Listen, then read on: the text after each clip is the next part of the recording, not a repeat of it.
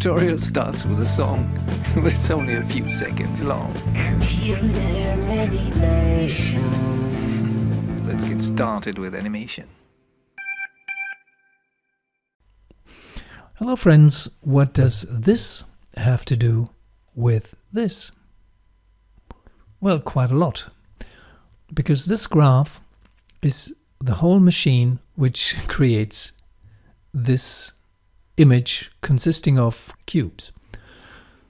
Okay, let us start with a new scene. Obviously you can use any kind of shape. Uh, right mouse click here, super whatever, and here under poly super shape I press random. Actually I don't like that spherical harmonics thing. Let's go to super ellipse like this. Okay, this is the beginning of our Bifrost graph. It's the one of the inputs. Uh, and uh, we go to Windows. Here is the Bifrost graph editor and we create a new graph. We can throw the input away because we have our input here and with a middle mouse, an important middle mouse button, you drag the super shape into this field. So we have an input, which is that geometry, and we have an output, which is, well, putting things on the screen. We haven't connected anything yet, so we need to connect something now. Uh, the central node for scattering points on a surface, like on that super, super shape, is called scatter. So scatter, we have scatter points, scatter points in gaps, and scatter points legacy. Uh, this is probably interesting as well. I haven't tried it out. And um, here you see my previous uh, commands which I used and I did use the scatter point. So let's use the scatter point points here. Um, you see that we have an amount of uh, 1000 and a maximum number of, uh, is that 1 million or 10 million? Uh, we get to the million thing at the end of this tutorial anyway. Okay, this wants geometry and this is geometry. Blue goes into blue. This is just perfect. Now, um, when we connect this to the output, uh, what do we see? We see lots of points here, exactly 1000 points on our surface. And we can hide it and well, when we go to black as a background, we see these points, which is already quite nice. Let's open this again and instead of 1000 let's use 10,000. We have a denser network of points. Now we want to visualize these points rather than, I guess we cannot render them. Let me try it out, Skydome Light, and I render this scene. Yeah, there's nothing to be seen here. Um, delete that light again. We want to convert these dots into actually geometry. And I use uh, this box for it and I scale it down drastically so we can distribute many, many, many of these cubes on that surface. Now, how do I achieve this?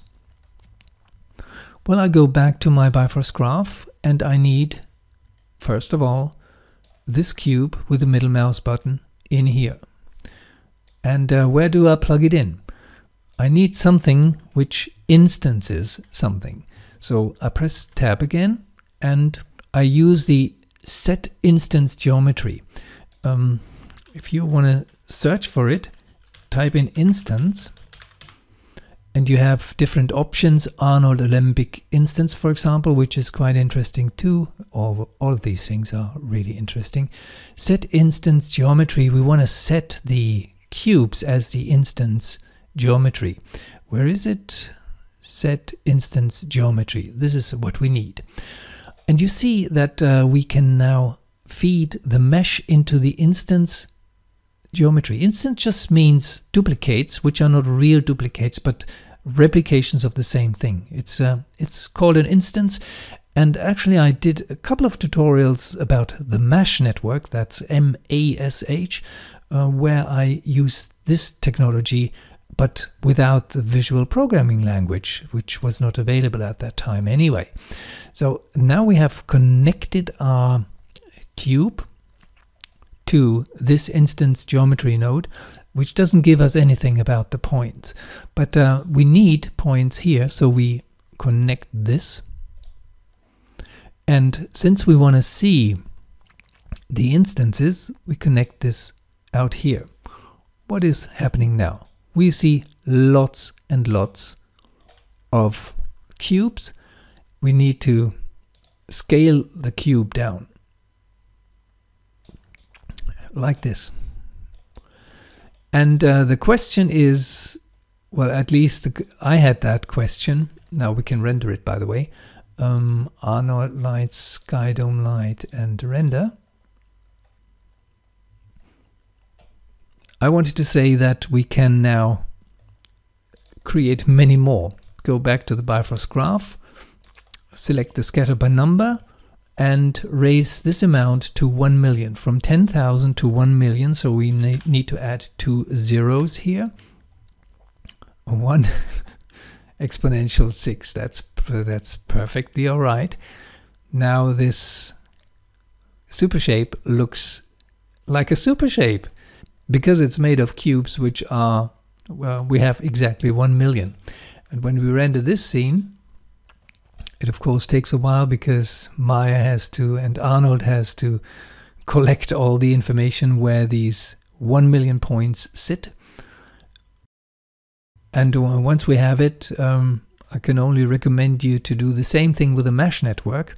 And uh, there's a link in the description to that tutorial, a really nice tutorial where I basically did the same thing with a MASH network positioning 1 million cubes on a horse.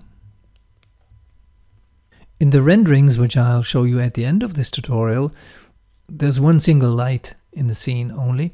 Uh, that light is in the center of our super shape. Uh, it's a point light. And I used a camera animation which goes through that object with, uh, I think it has 1500 cubes there. And later you see renderings with 1 million cubes and depth of field. And why did I show you all that? because it gives us a very nice introduction to what the scattering is about.